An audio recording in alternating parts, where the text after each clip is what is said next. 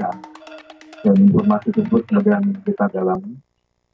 Maka tadi malam uh, kami tim teknis bekerja sama dengan Kakor Brimob telah mengamankan pelaku yang diduga melakukan penyiraman terhadap saudara NB.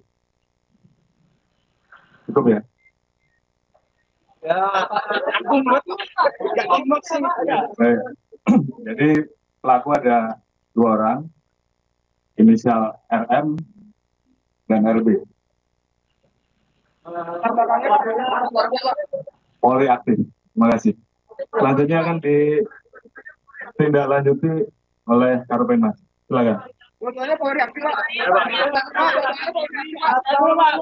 Diamankan tadi malam.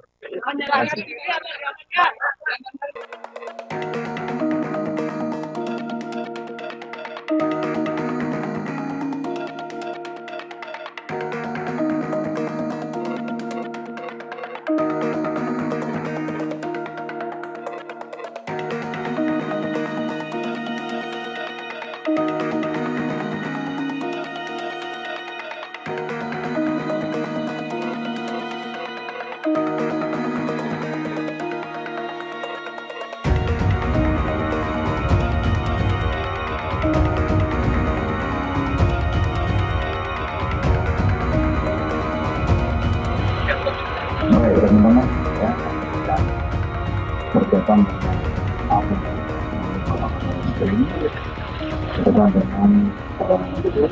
bahwa penyidik telah mengamankan dua orang yang diduga pelaku penyiraman terhadap saudara Barisnya. Ya tentunya setelah kita melalui uh, proses penyelidikan yang panjang dan kemudian juga yaitu penyelidikan penyidikan ya dan penyidik juga uh, melakukan ulang TKP, ya.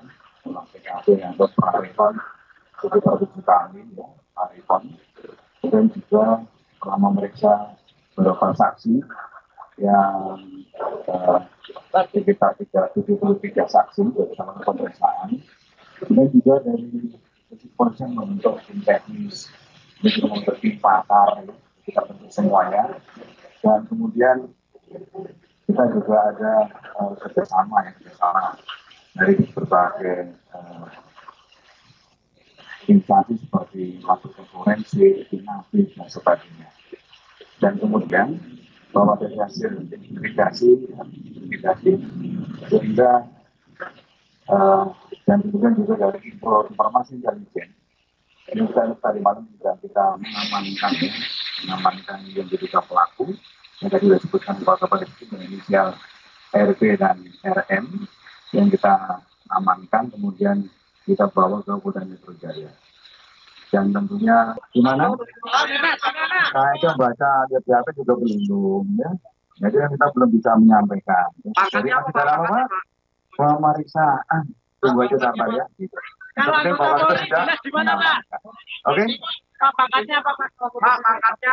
Gimana? Apanya? Nama. Nanti setelah selesai pemeriksaan baru kita sampaikan. Ya. Oke, terima kasih ya. Selamat sore. Jangan lupa subscribe ya.